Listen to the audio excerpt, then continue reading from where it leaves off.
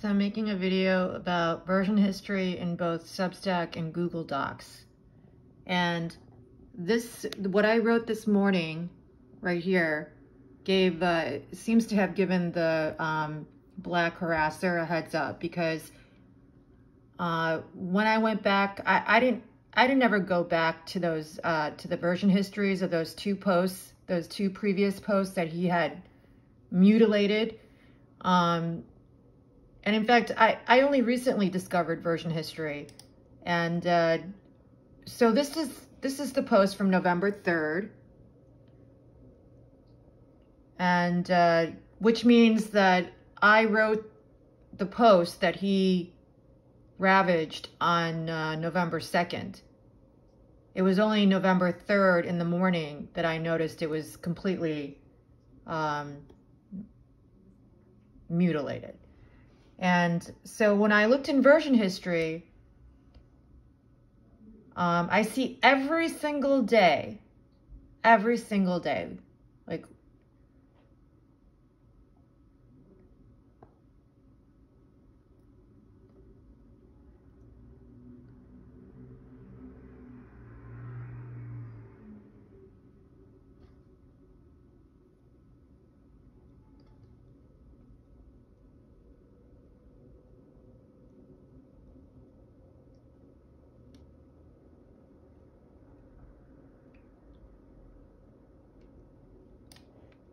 as you can see, it's like literally the whole month of October that I wrote on this post. Except for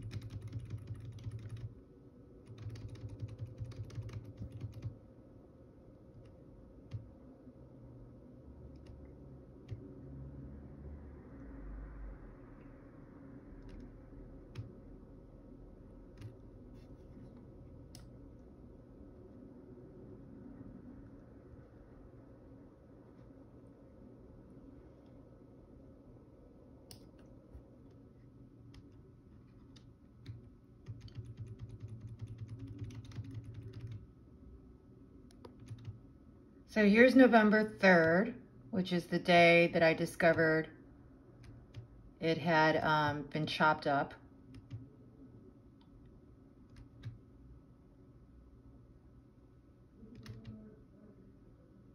And the fact, okay, so there's no November 2nd. And I know I wrote on November 2nd because November 3rd was the, the morning that I put in the post header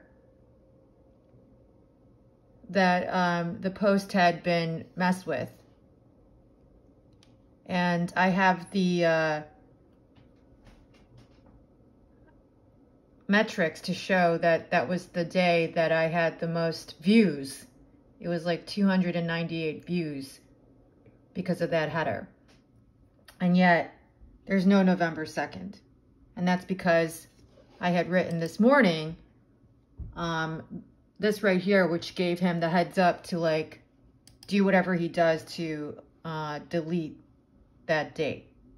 But when I go into the document itself where I work before I transfer to Substack, there's the November 2nd. I don't know why 1044 is uh, PM is uh, on top of 12 in the morning, but um, this is this is this is the one document that I'm writing on the black guy. And there's the date. But yet it's not recorded in Substack's version history because he removed it.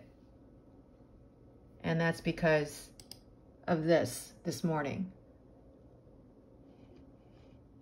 But it doesn't matter because, I mean, everybody who's you know, there were over 200 visits that day that saw that heading. And I only wrote that heading because I had worked on it the night before and I published it. I always, after work, I always work on, on, um, on this. It's my goal to call out the uh, offenders. It's, it's, that's all I'm focused on. And I don't do anything else but write on this. Write about, you know, write this, write on this. And um,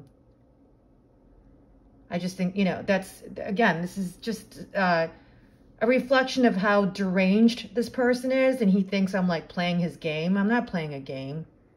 I, I don't, I'm not that, I'm not a fiend. All I'm doing is cleaning up his shit. This person is so toxic. It's just, I just can't believe he's, he's in my life. And I, my goal is to get a digital